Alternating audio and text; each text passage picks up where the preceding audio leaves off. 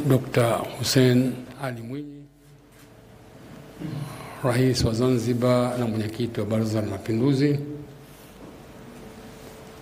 waheshimiwa waandishi, salamu alaykum. Mheshimiwa Rais, kwanza nichukue nafasi hii kushukuru Mwenyezi Mungu kwa kutujalia siku ya leo tukaweza kufika Chato na kuonana na Mheshimiwa Rais wa Jamhuri ya Muungano. Namshukuru sana Mheshimiwa John Pombe Magufuli, Rais wa Jamhuri ya Muungano kwa kutukaribisha hapa Chato ili kupata na muda mfupi wa kubadilishana mawazo juu ya mambo ambayo yanahusu nchi yetu.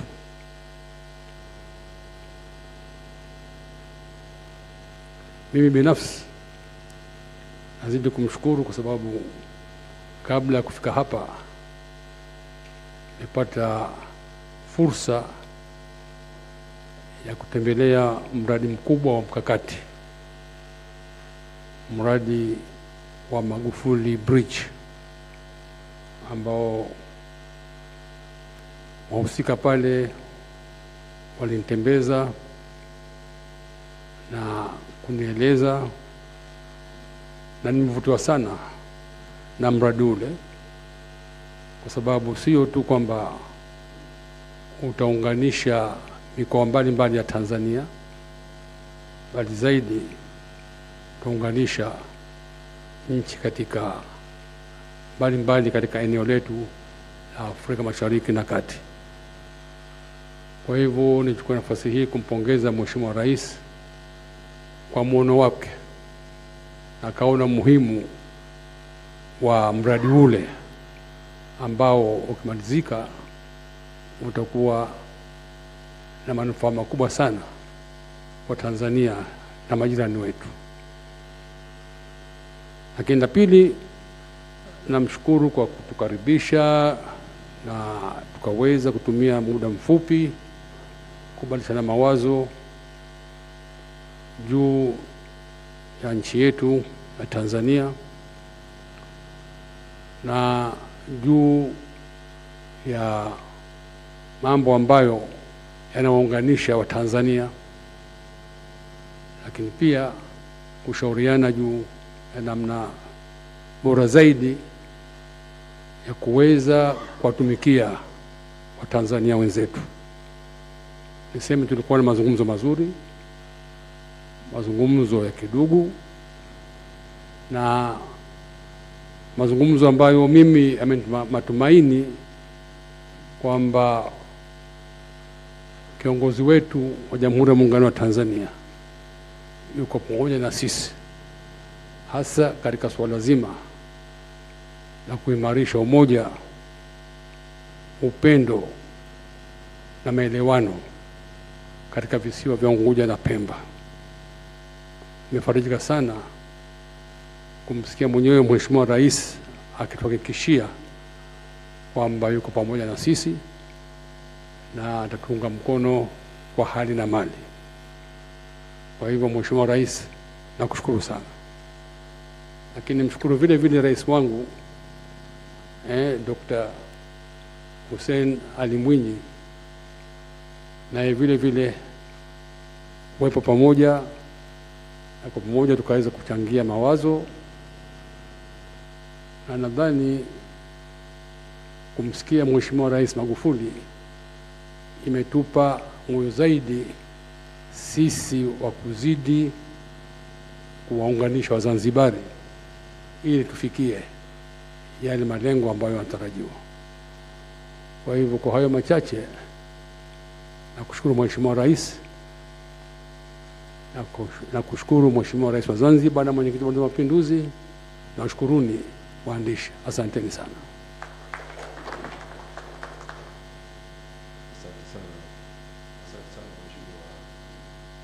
Saif Sharif Hamad kwa hotuba yako. Mheshimiwa Rais, kwa ruhusa yako, naomba katika nafasi ya pili kwa heshima na taadhima nimkaribishe Mheshimiwa Dr. Hussein Ali Mwinyi, Rais wa Zanzibar na mwenyekiti wa Baraza la Mapinduzi kwa nasaha zake. Karibu sana Mheshimiwa.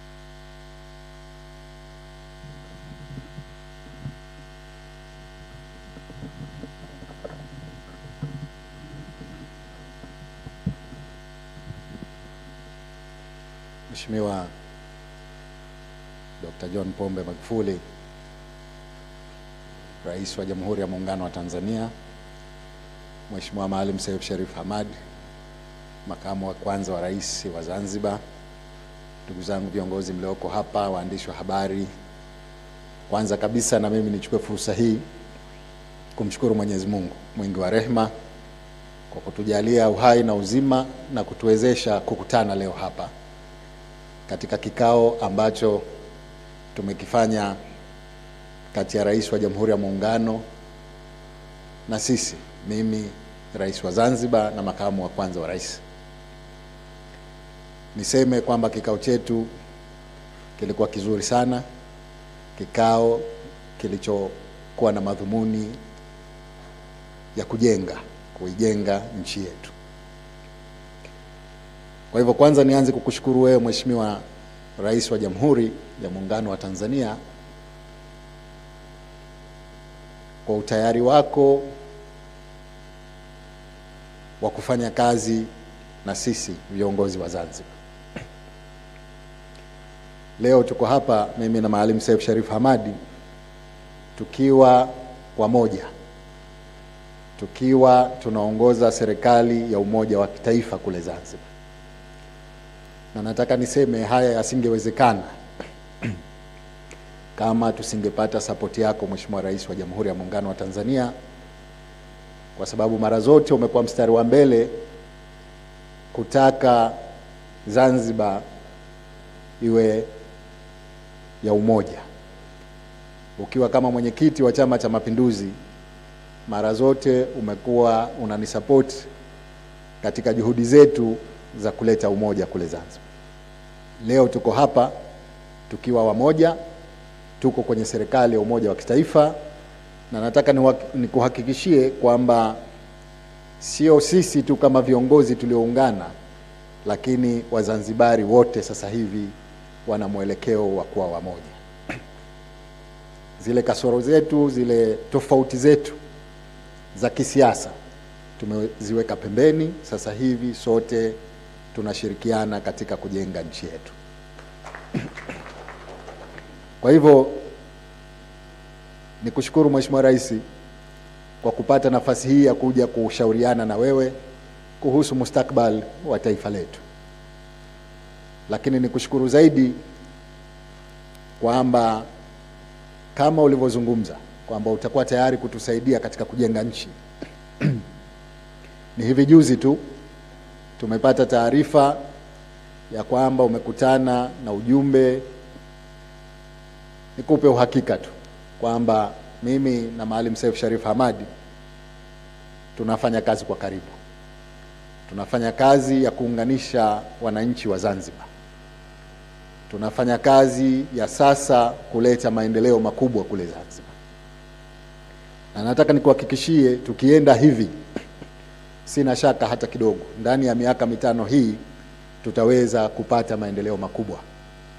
Kwa hivyo leo tuko hapa mbele yako tukiwa tumepata fursa ya kuzungumza na wewe, kujadiliana na wewe mambo yenye kuleta mustakabali mzuri wa taifa letu bara na visiwani. Nimalizie kwa kukushukuru sana kwa kutoa fursa hii ya sisi kuja kukutana na wewe ili tupange mambo ya kuwasaidia ya kuwaendeleza wananchi wetu. Tunakuahidi kwamba mimi na Maalim Seif tutaendelea kushirikiana, tutaendelea kuleta umoja wa kitaifa, tutaendelea kuijenga Zanzibar kwa manufaa na mustakabali wa Wazanzibari wote. Mwisho, ni kushukuru sana kwa kutupa nafasi hii ya kuja hapa Chato kukutembelea na kuzungumza na wewe na nataka niwaambie wananchi kwamba mazungumzo yetu kwa kweli yalikuwa mazuri sana, yanatupa nguvu mpya, yanatupa ari ya kwenda kufanya maendeleo makubwa, na tunamwomba Mwenyezi Mungu basi aweke baraka katika haya ambayo tumeyajadili ili tuweze kupata yale tuliyokusudia. Asanteni sana kwa kunisikiliza.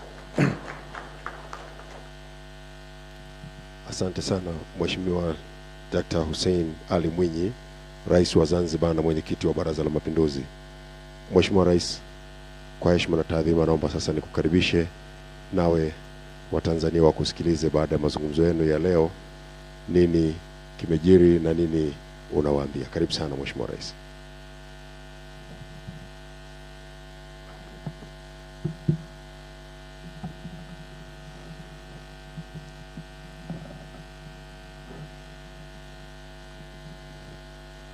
Mheshimiwa